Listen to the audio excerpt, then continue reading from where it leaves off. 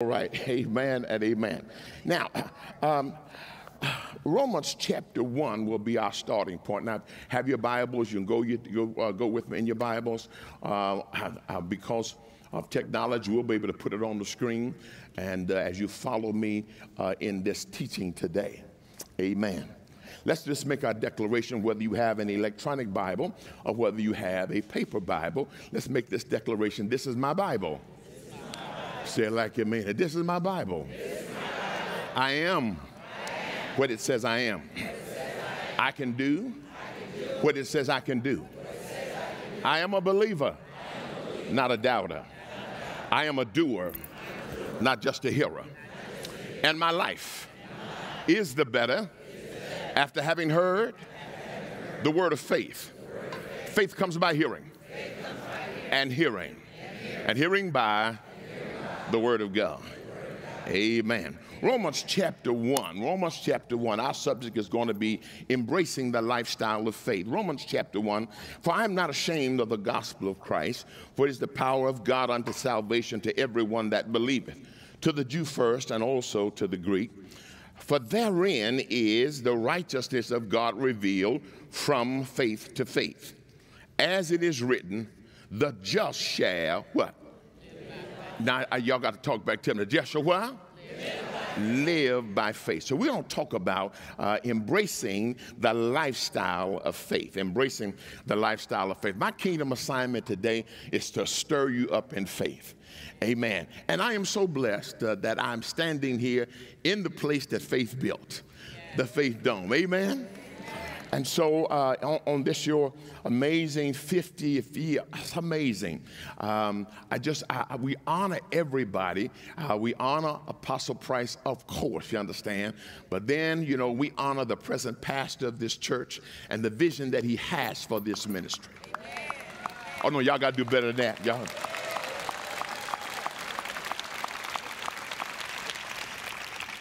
In our culture, the foundation of faith was laid uh, over 50 years ago, uh, really by the Apostle Price. He laid the foundation for us, and many of us gravitated to it, and many of us uh, made application.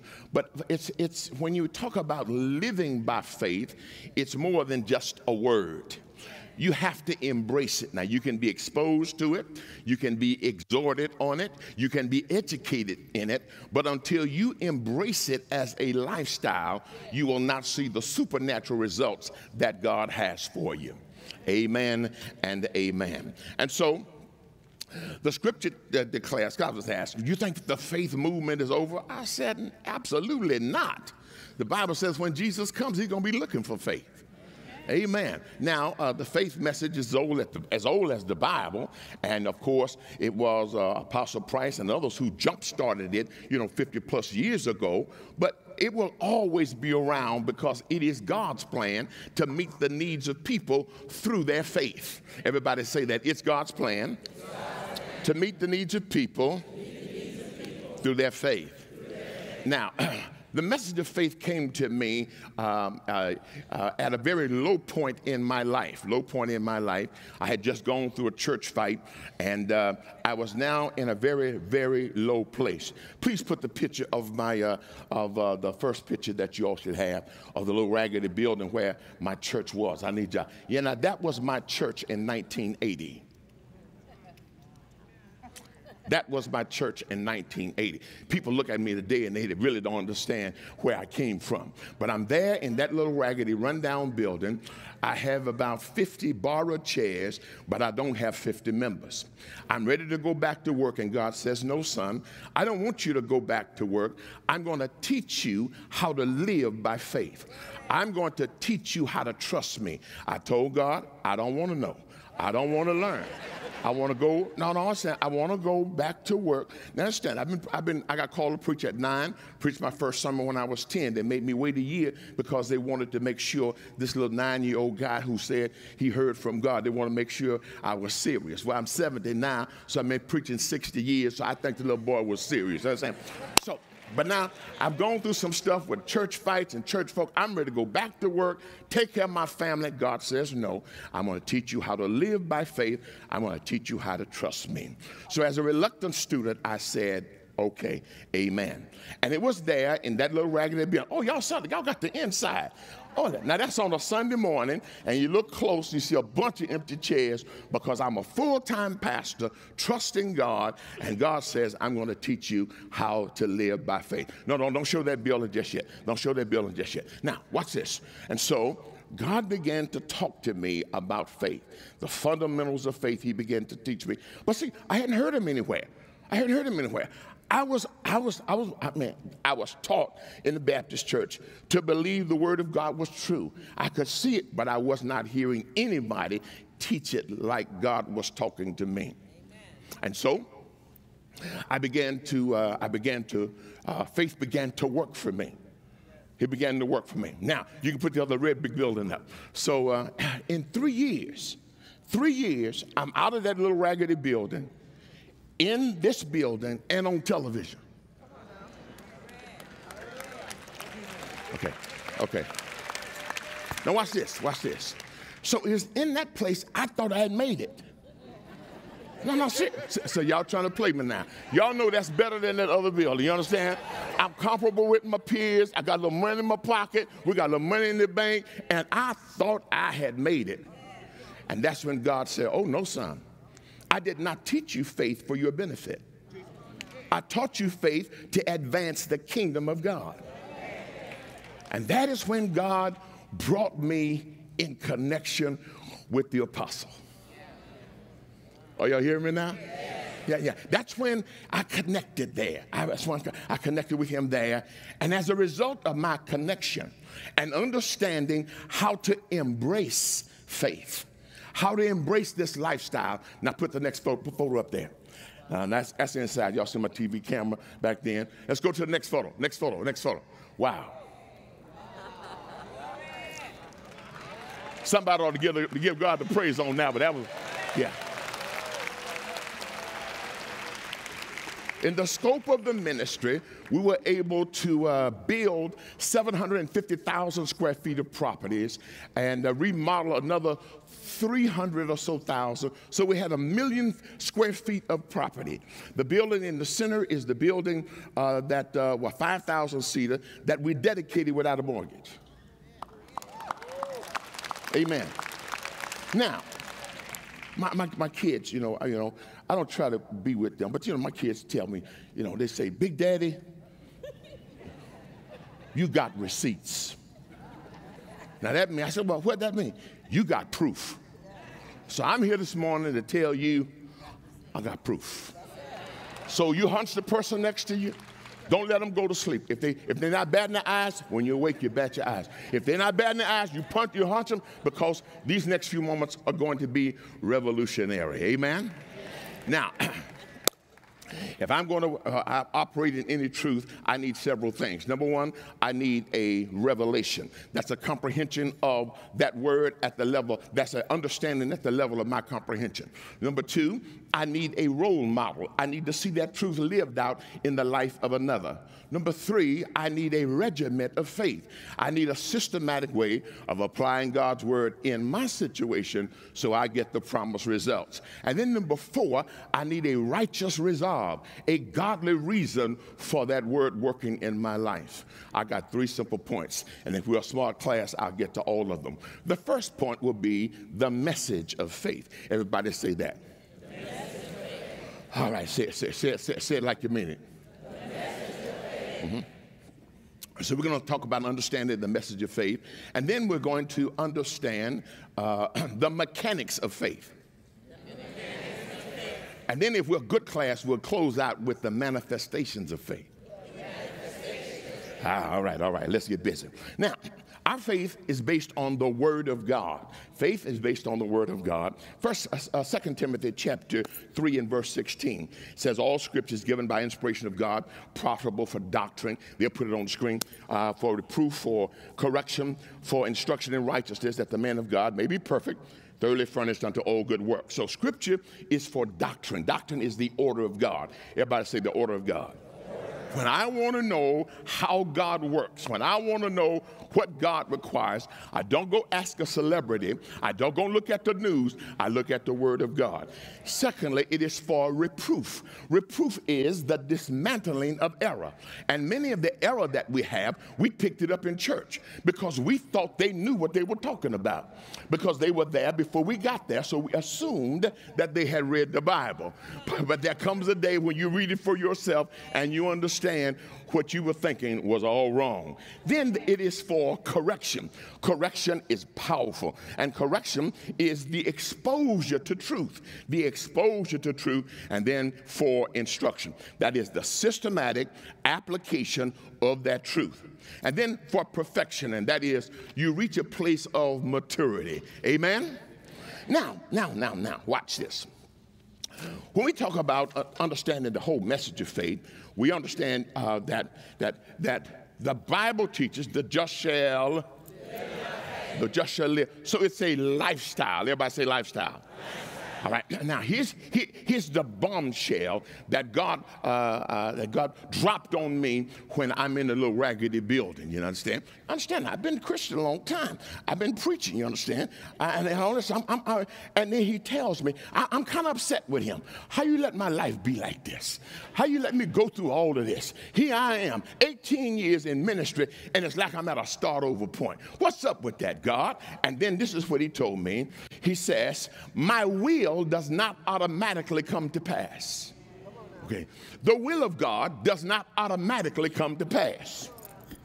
The will of God does not. Now, I thought it did because that's what they told me. They told me whatever the Lord want to do, he'll just do anyhow. Well, really? Okay, here, here's, I, I see some of y'all going, okay, listen. Is it the will of God for everybody to be saved? Yes. Will everybody be saved? Yes. So his will can't be automatic. People will not be saved because they will not do what is required to receive the salvation that's freely given. All right? And for every promise of God, for every principle, and for every prophetic word, there is, watch this, a faith process to bring it to pass. Hard person, I'm glad I hear him today. I'm glad I hear him today. Go on, tell him, I'm glad. Not to hit you back, not my fault. Okay, watch this. So um, when I look at faith, I understood that for God to get involved in my situation, I have to do something. If the, if God just gonna do anything He want to do, why do we need to pray? If He just gonna do anything He needs, we don't need to pray. He's gonna do it anyway. No, he waits for us to invite him into our situation. All right, That's, I, I, won't have, I'll have time to go to it. But in Ezekiel 22 30, uh, uh, God says, um, I sought for a man to stand in the gap. Got it? He says, so that the destruction and the judgment that was to come, I could stave it, I could waive it. But since nobody stood in the gap, the judgment had to run its course. Well, why does God need somebody? Is he going to do anything he want to do? No, because the God of order. Everybody say God of order. Because I did not say God wasn't powerful. I did not say he didn't know it all. But the God of order established an order in the earth. And then, watch this, he gave authority to man. Man lost it in the garden. Jesus comes back to restore that. And God now waits to get involved at man's behest. Amen. So then, with that understanding, I understood how important my faith was. I was waiting on God, and God was waiting on me. Amen and amen. So uh, Jesus, he highlights the whole message of faith. Now, when I look at faith, I see several, several categories of faith. Everybody say saving faith. They may put that on the board. Saving faith, Yes, saving faith, faith by which we're saved. And then there's submission faith. Submission faith is that which we see when there is just submission, obedience to, uh, to the word. Uh, we don't ever see, you know, Peter necessarily confessing the word over and over and over. He just said, at thy word, I will. All right? Then there is surrogate faith, when I'm able to use my faith on the behalf and benefit of, an, of another. The centurion did that. Everybody say, stay with him, stay with him. Then there is special faith. Special faith is a product of one of the gifts of the Holy Spirit. But then there's systematic faith. And systematic faith is what Jesus taught. They got it. They finally got it. Praise the Lord. Are y'all, yeah. All right, watch this, watch this, watch this. Systematic, everybody say systematic faith. So, Mark 11, that's when Jesus is teaching systematic faith. And uh, Jesus answered and said unto them, Have faith in God, for verily I say unto you, whosoever shall say unto this mountain, Be thou removed, and be thou cast into the sea, shall not doubt in his heart, but shall believe those things which he says shall come to pass, he shall have whatsoever he said. Therefore I say unto you, what things soever you desire, when you pray, believe you see them, and you shall have them. All right, now, so that's the system of faith. And when you learn the system of faith, you can learn to overcome any challenge you're facing.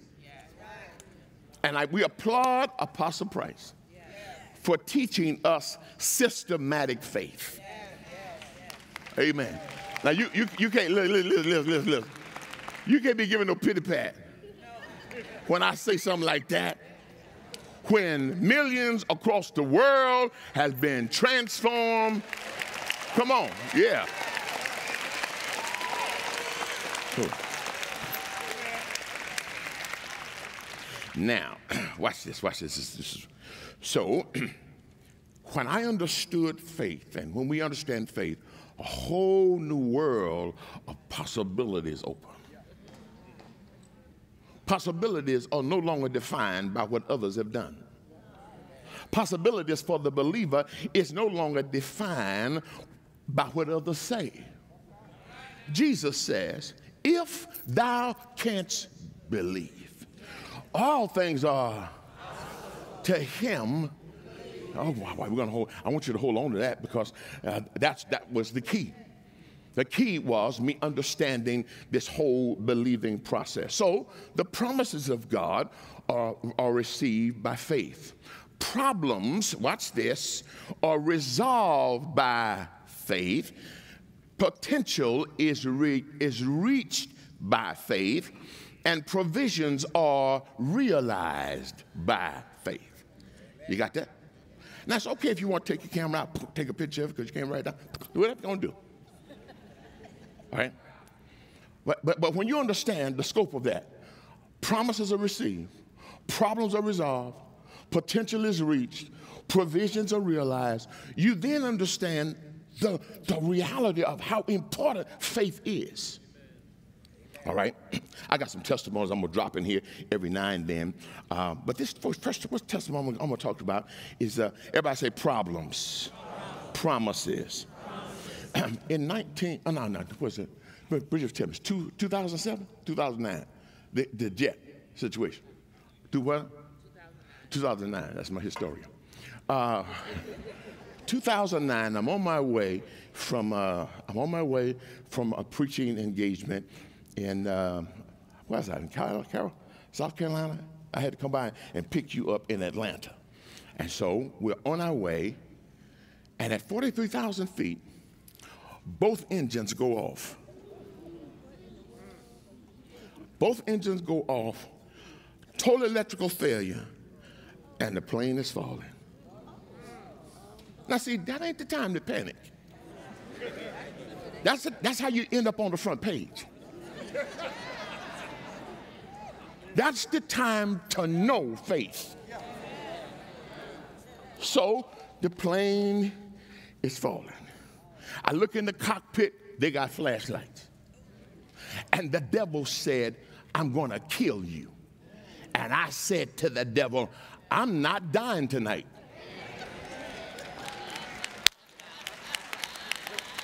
See, see, see, see, the problem is you let the devil do all the talking. I said, I'm not dying tonight because the word says he satisfies me with long life, and I'm not satisfied.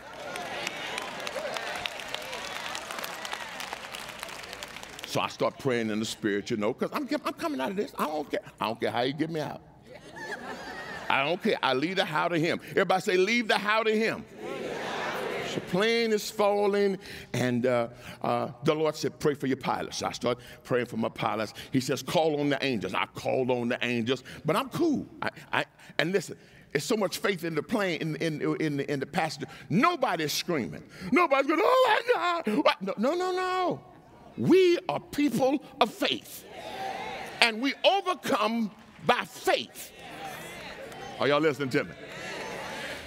so um, um, about uh, 13,000 feet. So we, we fell 30,000 feet. 13,000 feet, they got the engines on. They got the engine on, and baby leveled off. So they said, what do you want to do? Do you want to go to a near airport or do you want to try to make it home? I said, try. I said, no. I said, that was the enemy trying to kill us and we kicked his butt. Can I say that? I say, and we kicked his butt. I said, now we going home. Watch this. I pushed the button on my seat, laid that baby back, and I went to sleep. Because since he slumbered, he never slumbers nor sleep. No sense in both of us being awake.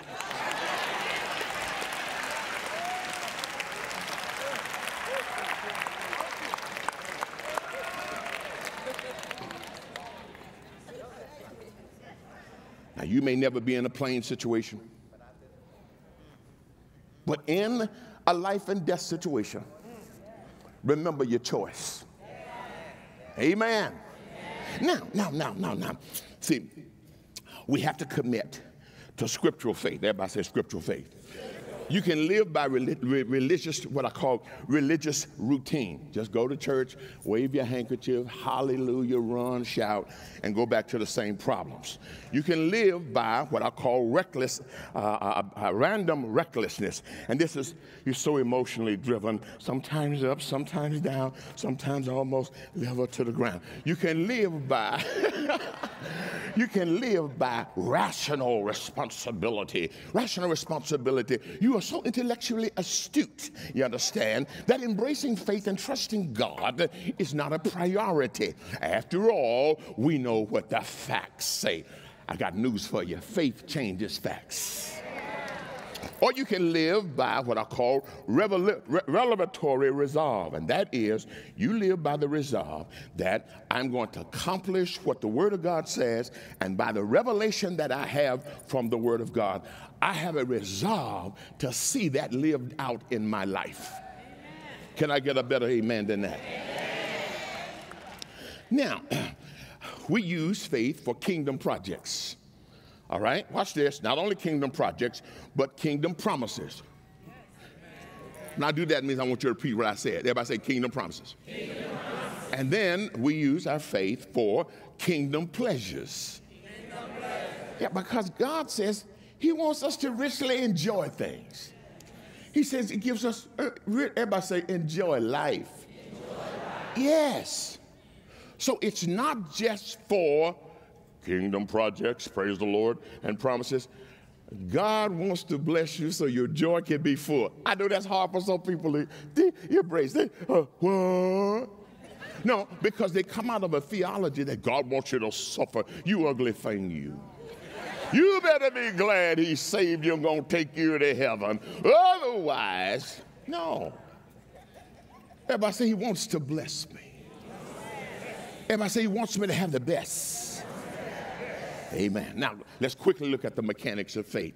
ABCs of faith is the asking, the believing, all right, and the uh, confession, saying out of your mouth what the Word of God says, the demonstration, acting out. This is a faith church, so some of these points I can go through real quickly, and then the expectation. When I'm in faith, I have five justifiable expectations. I expect a plan of action. Everybody say plan of action. I expect the wisdom of God. I expect the favor of God. I expect a miracle, and I expect strength to endure until change comes. Yeah, see, faith ain't magic. Faith is not magic, so it may take some time. But during this time of we, me waiting on the manifestation, He will strengthen me. Amen. He will strengthen me. I had never had a faith project that I did not have to, that, that I did not have a faith fight in. It's common. So it's, it's like um, uh, I, I, we went to a summer camp one year, and the guy said, "You know, uh, how you how do you deal with the persecution and and all of this that comes with ministry?" I said, "Easy." I said, "Listen," I said, um, "He looked an athlete." I said, uh, "Are you an athlete?" He said, "Yes." I said, "Where you play?" I play football. I said, "What's your position?" I'm a running back. I said, "Okay, great, great, great. Listen, when you get tackled, do you get up off the ground crying?" I said, he go back to the, you know, he got me, he grabbed me by my leg, and he pulled me down. You don't do that. Why? It's part of the game. And fighting the fight of faith is just part of the game. Watch this. And you have to realize that you are made for that moment. Oh my God, you got to get that. You have to realize that when God put you together, He knew your faith fight was coming. And He put everything, I'm getting too loud. I'm supposed to be coming. He put everything in you for the moment. I need somebody to shout, I'm made for the moment. I'm made. I'm made for the moment. Hallelujah. Amen. Okay, okay. Now, I'm getting ready to stretch. Y'all ready to stretch? To stretch. Because we can go through these mechanics of faith, but the main factor is the believing factor. Everybody say believing factor. When Jesus talked about faith, he talked about believing. On many occasions, he will talk about believing. But most people don't understand biblical believing. Okay? I had an old brother, and uh, he would put on my t shirts. Growing up, he put on my t shirt. Always knew when he put on my t shirt because all stretched. See, the point is, watch this. When something is stretched, it never goes back. When I stretch your faith in the next five minutes, you're not going to ever think the same again. Y'all ready? Y'all ready? All right. See, most faith, most people think faith is reasoning on tiptoes. When they just about think how they can work it out, I'm in faith. But no, Biblical believing is to accept something as a fact without sense realm evidence. It's to accept it as a fact based on the Word of God without sense realm evidence. Everybody say, We leave the how to Him. All right. the story of Thomas. Apostle Price used to always work on this one. The story of Thomas. Uh, he says, you know, he wasn't there when uh, Jesus came and first saw the disciples. Disciples says, hey, Thomas, we've seen the Lord. Thomas, don't, don't give me that. He said, now, until I see him by myself, put my finger in that hole I saw his hand, my hand in that hole I saw his side, I will not believe. So then, believing is a matter of your will. You can will to believe, or you can will. All right, watch this, watch this. the greatest error people make in faith, not saying big greatest, but the one, one of them, okay, is flawed criteria for believing.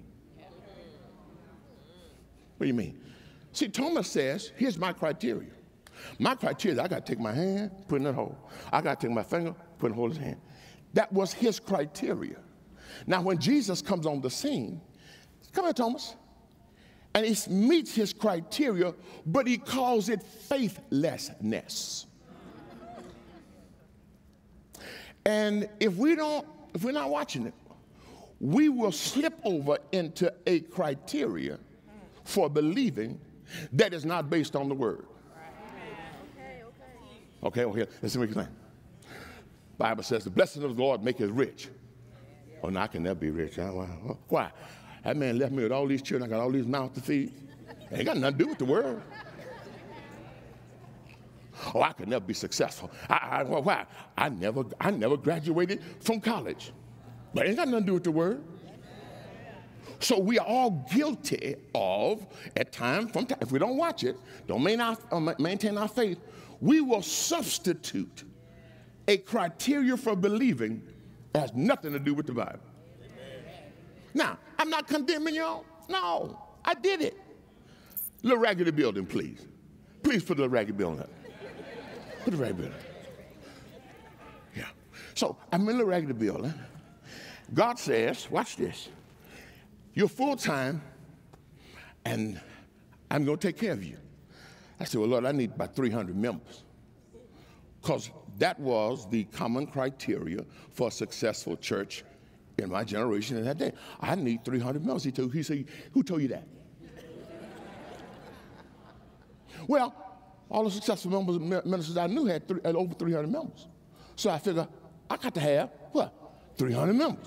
It's a flawed criteria. He said, Oh no, you don't need them because you got me. Watch this, watch this, watch this, watch it.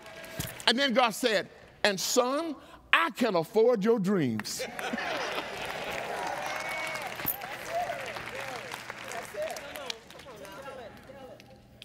so I prospered right there. I prospered right there with less than 50 members. Now I know you say you should fix that building. You can't fix that. You got to move. I heard you. I heard you. I heard you. Should have been trying to fix that building. Bought my first brand new car there, less than 50 members. Bought Bridget a BMW, less than 50 members. Why? Because my believing shifted. He said, if you don't count the people, you will not be limited to the people you count.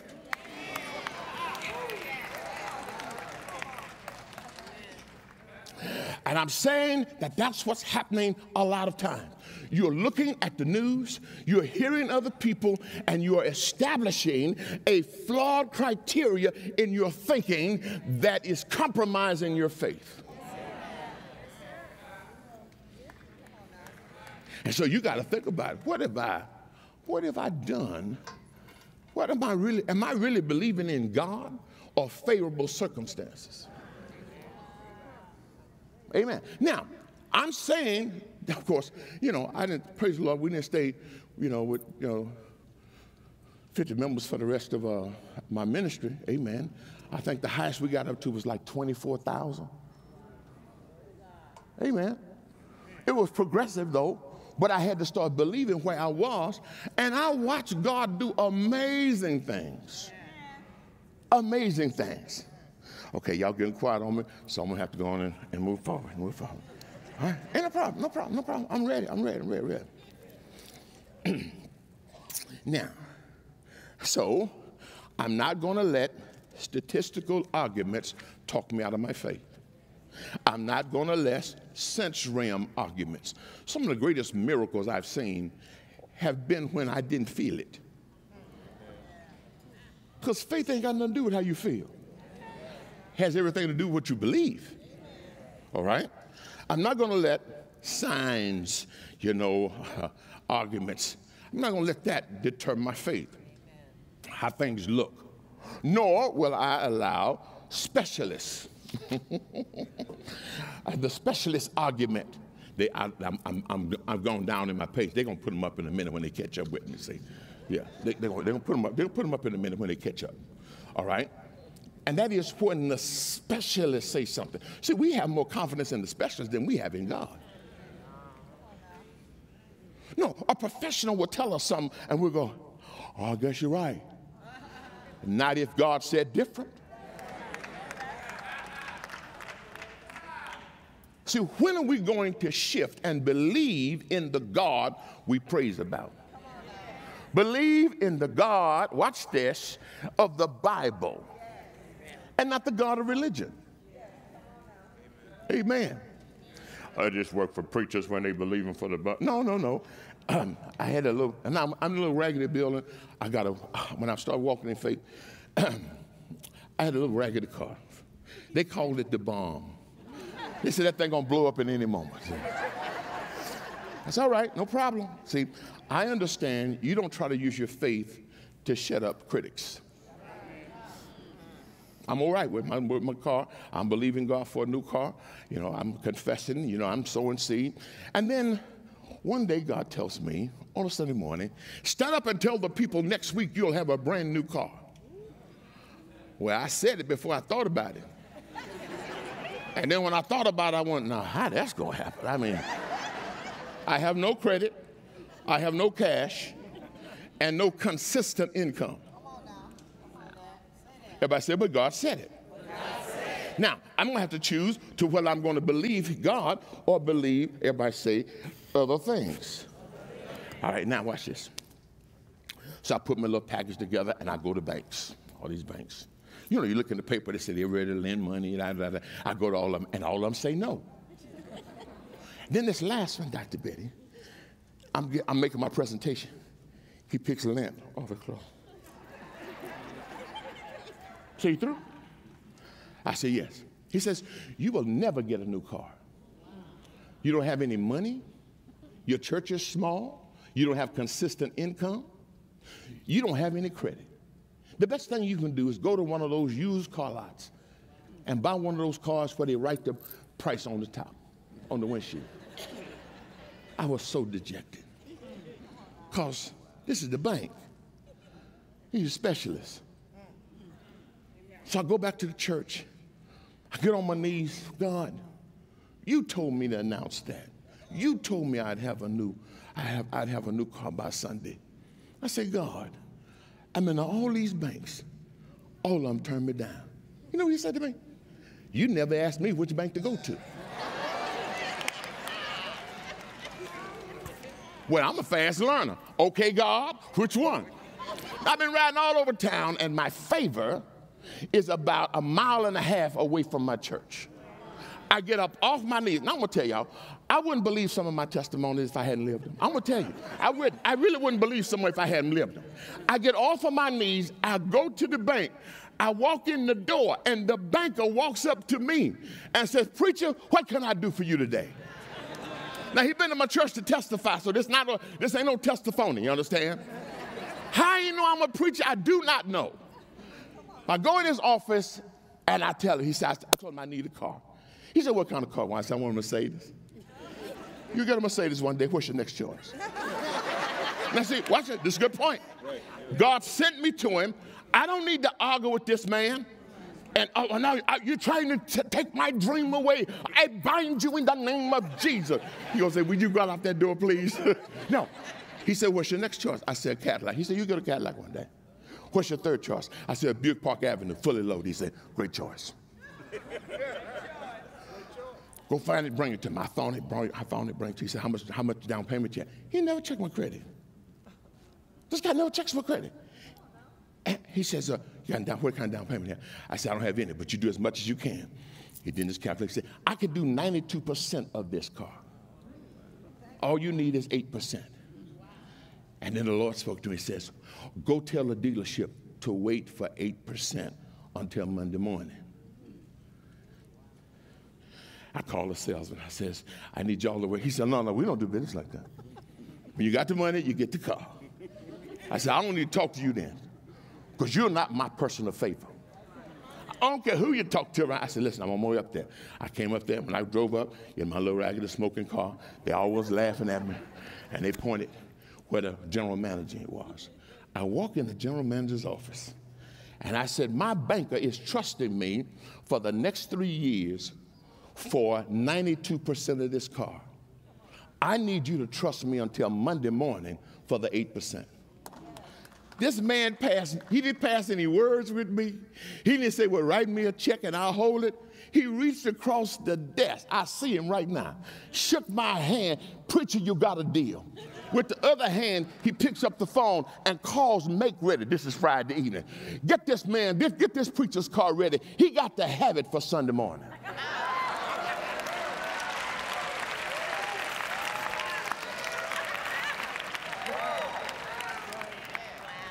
Everybody shout, it is no secret, no secret. What, God can do. what God can do. What God does for one, in principle, he will do for another.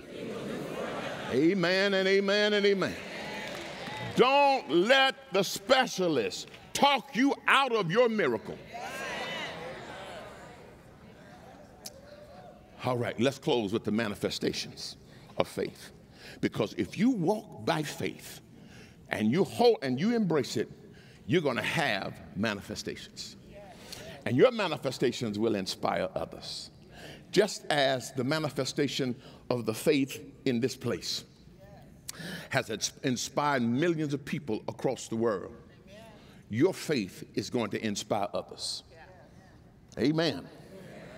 Look at the person next say, God is about to do something supernatural in your life just to encourage my faith.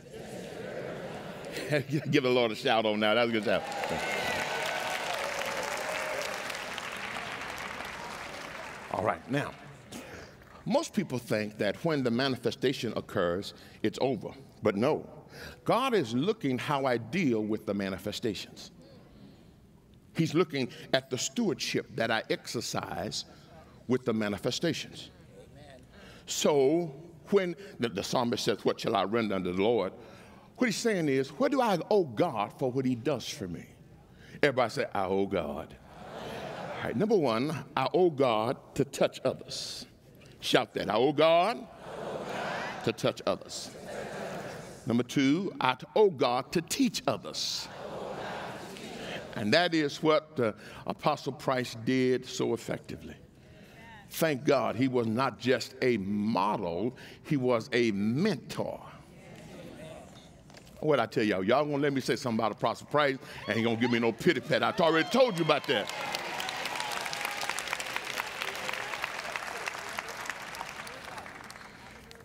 God expects us to train others. He expects us to make disciples, and God expects us to testify to others. Our, testi- our personal testimony is powerful. Amen? Amen? Now, let's look at the pathways of manifestations. Now, this is not an exhaustive list, but it is a good list. How does God work to bring the manifestation? Number one, when we have faith and believe, we can expect the intervention of angelic supernaturals. We need to believe in angels.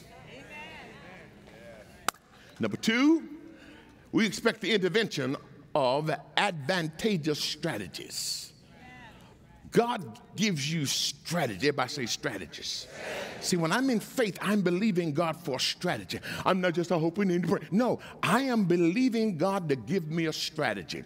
Proverbs 16 and 3 says that when I roll this work on the Lord and I commit my works to Him, He, watch this, will cause my thoughts to be agreeable with His will, so shall my plans be established and succeed. I'm expecting God to work through assigned supporters. That is the purpose of my seed, faith giving, that He will raise up others. The grace of God, the favor of God is the willingness of others to use their power, their ability, and their influence to help you. Hold on to that. Because, see, most people don't understand the whole favor dynamic. And the whole favor dynamic is that God's going to work through somebody. He has assigned somebody to help you. Wow. Come on, you gotta believe that. No, he has a sign. The Bible says uh, that, you know, the faithful and the righteous will rendezvous with favor, will uh, compass about with favor. That means God's got people on my path ready to help me, and I'm on, I'm about to connect with them. Oh, yeah. I'm gonna preach over here, y'all. No, no, you got to believe that God knows your situation. And watch this. He will not let you be in that situation, watch this, without a deliverance plan for you. That is why we don't have pity parties. That is why, you know, we don't throw up. I, oh, I, listen, I don't need to know now what I'm going to do. He will give me what to do on a need to know basis. When I need to know, I'm going to know. When my heart is right toward God and my desire is to please God, God is obligated to bring me to the company of the people I need to know and the knowledge of the things that I need to know that are critical for my success and my destiny in life.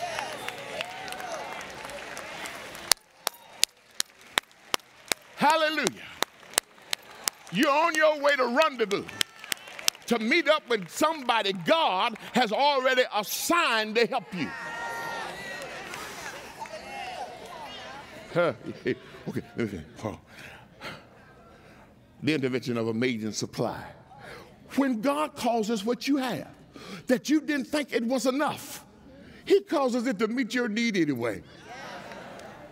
He intervenes through intervenes through adversarial shifts.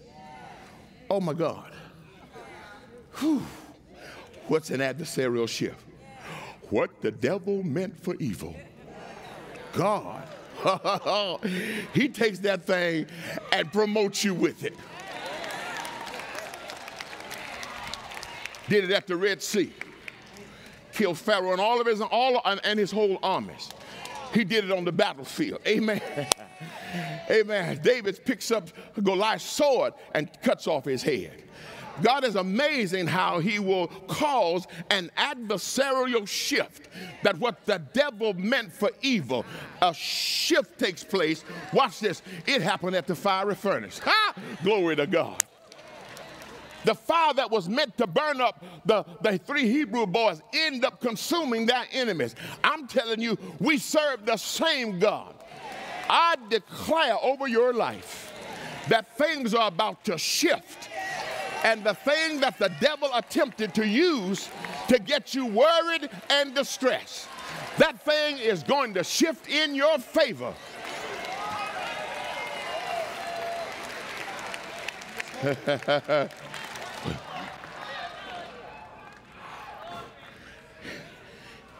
he intervenes through the alleviation of struggle. Because once you know God's on the scene, there's this peace that comes over you. And you know that you know that you know you're coming out on top. Amen. He intervenes. He intervenes through, watch this, appropriate strengthening. What do you mean? What do you mean? That he gives me the appropriate strength for the moment. I thought I couldn't make it any further. I thought I was all out, but I get my second win. And when I get my second win, you better look out. You better look out. Do I have any athletes in the house? Athletes in the house know that you can be running a race, and at that in that race, at, at, the point where your lungs are burning, where you don't think you can make another step, something happens phenomenally. That you get a second wind, a new burst of energy. I'm telling you today that that's what God does. When you live by faith and you're in a faith fight, there comes this burst of energy. Everybody say my second wind. Finally, whoo, I got accelerated success. It won't take long. Whew. Everybody say it won't take long. Oh, my God, my God, it won't take long. All right, now, watch. Okay, let's see if I can maximize these next few minutes. See, I have to learn how to maintain my faith. So you can get faith, get some victories, blah, blah, blah, blah. But if you don't watch it, you don't maintain it, it's almost like you regress. Simple, maintaining your faith. It's simple. Everybody say simple. I maintain my faith through the management of truth. What do you mean? I got to make sure that I'm around somebody who's teaching me truth. I cannot afford to just go somewhere where they're going to shout me, run me. Faith comes by and hearing by. So I don't care. I mean, y'all can go shouting and all that sort of stuff. I say, you know, listen, give me the truth of God's word. I shout later. When I began to follow Apostle Price years ago, all the preachers said, You'll never preach in the National Baptist Convention. You'll never. I said, no problem. My church every Sunday morning will be a convention.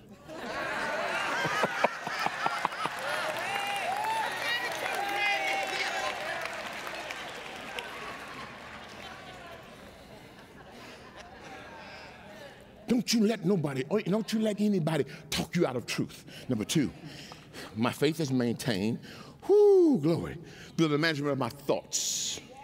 I got to be around people who are going to who are going to help me control my thoughts. It is maintained, watch this, through the management of my, they have out there, the management of my temperament. Oh my God. I gotta tell you, I wish I could put y'all in a capsule and take y'all back to me in the little raggedy building. Everything, everybody think I'm cool now and just kind of you know smooth now. The boy was smooth back then. Listen, he had one shiny suit. That's all I had. But I had a strut about me. I know I'm on my way somewhere. You understand? I have seen my future on the canvas of my imagination. No sense of me being a, having a pity party for where I am. This was only temporary management of my temperament. The Bible says in Philippians 1:28, it says, and in nothing terrified by your adversary. And when you when you're not terrified by your adversary and you have this victorious stance, you send a message to him that he's going down. And you send a message to heaven that I'm dependent on you. I'm not talking about fake it until you make it. That's not what I'm talking. I'm talking about having faith because you're going to make it. All right, watch this management of my tongue. I got to watch my mouth. Death and life is in the. Amen. I got to manage my treasure. Everybody said my treasure. Now, faith really shows out in challenging moments. We can all go to school, but it's in the challenging moment when you have to exercise faith. That's the real test. And in those moments, the average believer will choke. Now, I know choking, you know, choking. I'm not talking about that. I'm talking about it's, it's a colorful term that we mean that that what we mean that that person will hesitate. Well, well I don't know. But that's common to those who grow in faith. Everybody say choking moments.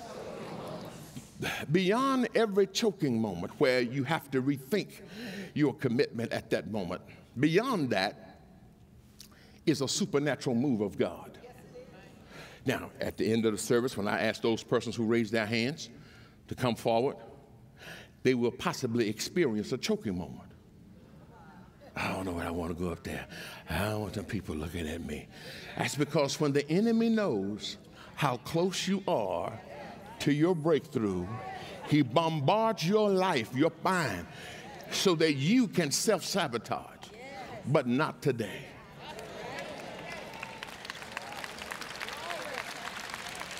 Choking moment. It's a moment of temptation. It's a moment of truth.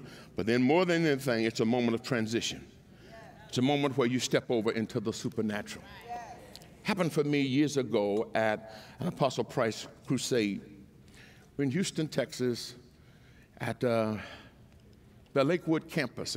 Brother Osteen had built the building, and the crusade was there. That last night, the budget wasn't met. And Apostle Price said, the budget in Houston didn't meet their budget. And of course, everybody was somber. And then the Lord said to me, I want you to meet the budget.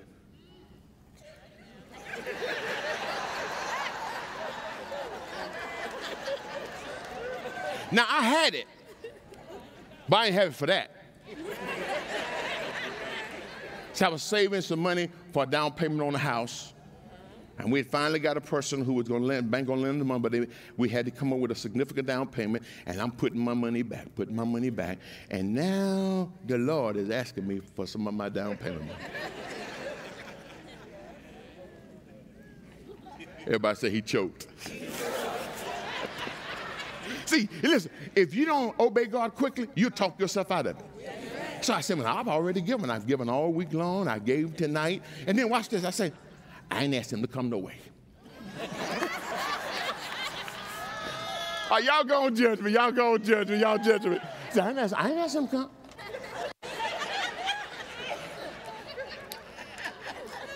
About that time, Bridget hit me. Boom. Did the Lord say something to you about the budget?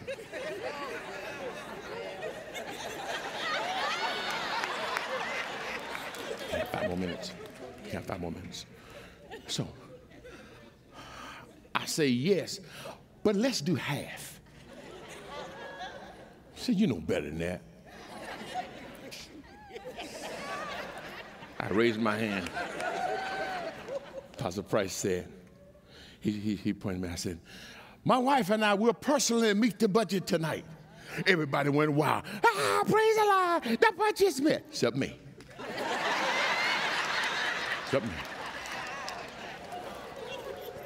Devil said right here, said, You fool. What you gonna do when you get to closing? you gonna lose all. I and so I got to, for the rest of the night, I hear nothing. I'm casting down Jesus' name, blood of Jesus, hallelujah. Uh.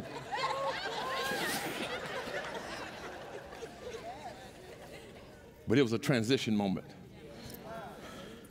We, when service was over, people start walking up to me and Bridget, giving us money. We're so happy you didn't let Houston go down and not meet their budget. So I said, Well, praise the Lord. Hallelujah. You understand? Now, people doing the same thing to her. I praise, oh, thank you, Jesus. You know what I'm saying? So I said, at first I was walking like this here, and then I said, oh my God, this is something happening. So I just started taking baby steps like.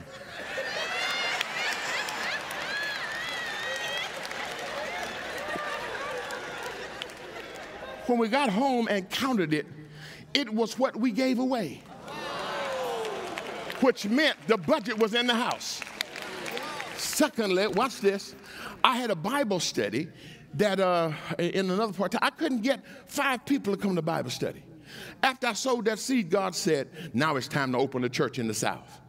I'm always, God, have you seen the Bible study? He said, go get the largest building you can find. We found an old Kroger building.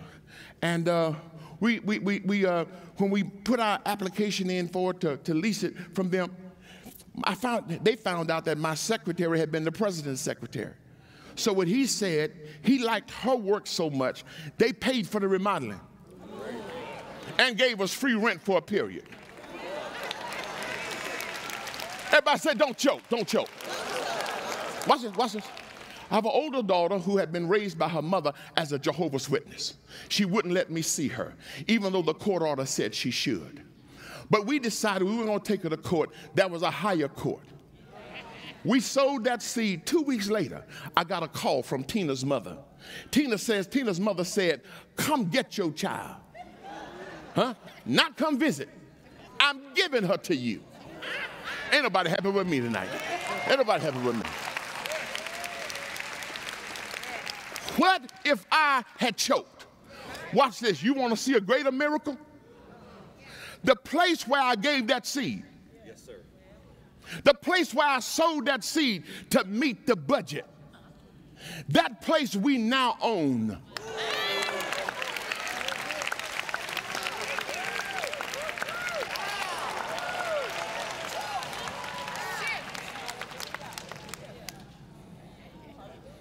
To rebuild it would have cost us that time $41,000. We brought it, we bought it for $15,000. But actually only paid 12 million for it. 15 million, we only paid 12 million for it. We say, how you do that? Because I don't have time for that testimony. Oh, they gave me a little more time.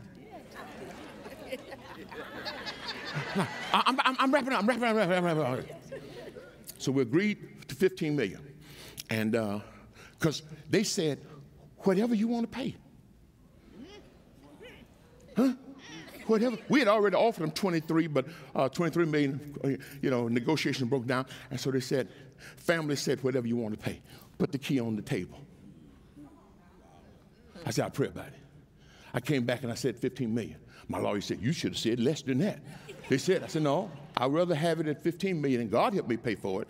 And then I asked for some other and God tell me to pay for it.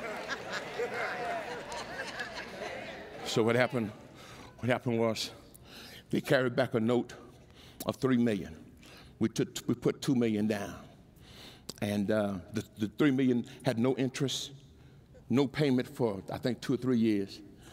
And um, I think maybe a year later, God said, offer them a million dollars in 90 days and ask them if they will cancel the other two. Other, yeah, the other two.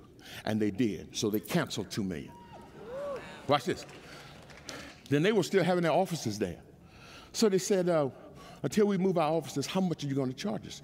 I said, I can, I can whatever y'all want to pay. They gave us $100,000 every month for a year. What if I had choked that night? And not obeyed God. See, when you hear the word of God, there are several responses. You can have a resentful response, like the rich young ruler, or you can have a ready response, like Bartimaeus says, I'm ready. Let's pray. Father, in the name of Jesus.